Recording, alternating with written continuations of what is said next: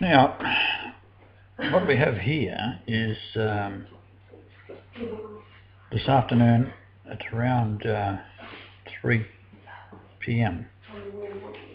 In here is a very bright white dot, but it's within this glare here. When I first saw it, it was up here at 1 o'clock. About here. I thought I saw it yesterday at sunset, but was uh, further away.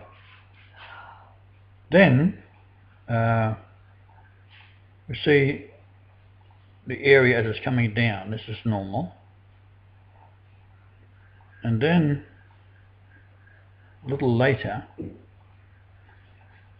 can see a, a glare at the shape of this here has come out and um, just a little later five minutes and that seems to be more bulbous.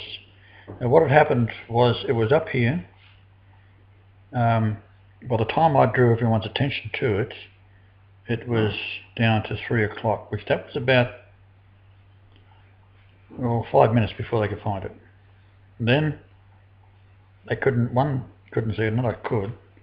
And then it was down here at four o'clock by the time I last saw it and going in that direction. So um, it was either doing this, which I doubt, but it does appear to be going in that direction and this is a setting sun. So uh, it sets into the sunset naturally. This is later on, um, and I'll give you some idea what the, okay, it would have been down here and possibly gone, but it's still in the glare, so I still try to capture it with this, and uh, I'll just go through, and you'll notice, if we go back, see the glare width, Go back a bit further. Yeah, okay, we'll go back the other way. Now watch the glare width.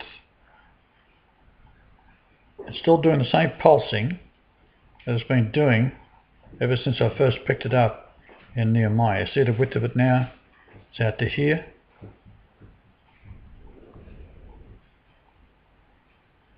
It's going down, of course, and then uh, we're losing it.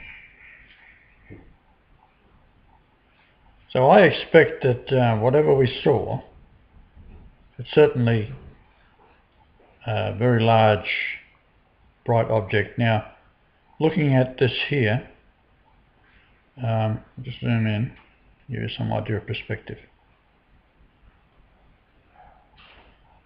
Okay, go back a couple hours, it was up here, this was up here, but in relationship to where I saw it, I first spotted it here just inside the glare and I couldn't see it.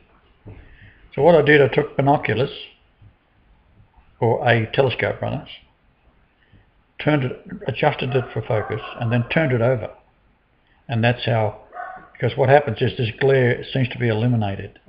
You still see the little black spot, but this time in my eye I could see the black spot.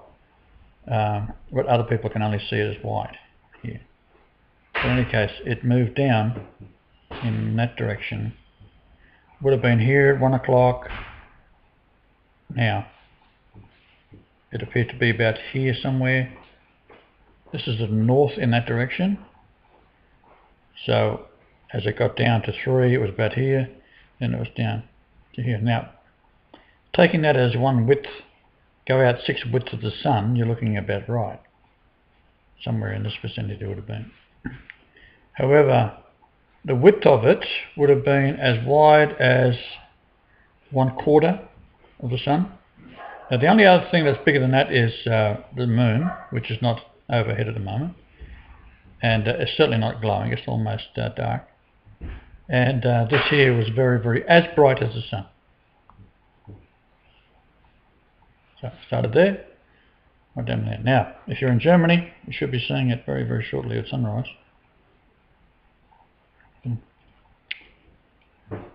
It's on the way, so it's